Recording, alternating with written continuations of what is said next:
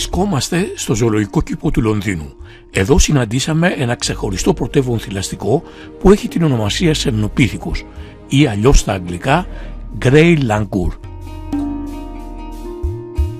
Τα Grey Langur ζουν μέσα σε υγρά φιλοβόλα δάση και δάση βελανιδιάς της Βόρειας Ινδίας και του Μπουτάν, αλλά τα συναντάμε και σε υψόμετρο 4.000 μέτρων στο Νεπάλ.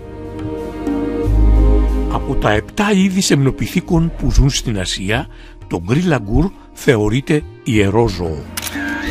Έχει πάρει το όνομα από την Ινδουιστική θεότητα της θεραπείας και της λατρείας Χάνουμαν. Έτσι λοιπόν το γκρι λαγκούρ στο φυσικό του περιβάλλον είναι γνωστό με το όνομα Χάνουμαν λαγκούρ. Διαβάζω τις πληροφορίες. Τα γκρι λαγκούρ είναι ημερόβια ζώα περνούν το μισό χρόνο τους στο έδαφος και τον άλλο μισό επάνω στα δέντρα. Έχουν την ικανότητα να κάνουν άλματα καθύψος που φτάνει τα 5 μέτρα, ενώ κατά μήκος από κλαδί σε κλαδί τα 12 μέτρα. Είναι κυρίως φυτοφάγα, τρέφονται με φύλλα, βλαστούς, ρίζες, φρούτα και σπόρους, αλλά και με ιστούς αράχνης, τύμβους τερμητών και προνύφες εντόμων. Και βέβαια αγαπούν απόλυτα τις γλυκοπατάτες και τα παντζάρια.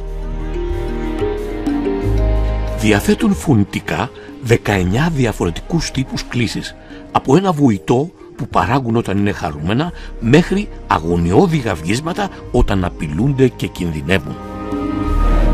Όση ώρα είμαστε εδώ, παρακολουθούμε με έκπληξη τη σχολαστικότητα με την οποία το αρσενικό βγάζει τα παράσιτα από το θητικό, το οποίο όχι μόνο αφήνεται στη φροντίδα του, αλλά φαίνεται να το απολαμβάνει. Πράγματι, είναι μια εικόνα με μια ξεχωριστή στιγμή από τα Γκρι Λαγκούρ που είχα την ευκαιρία να φωτογραφίσω.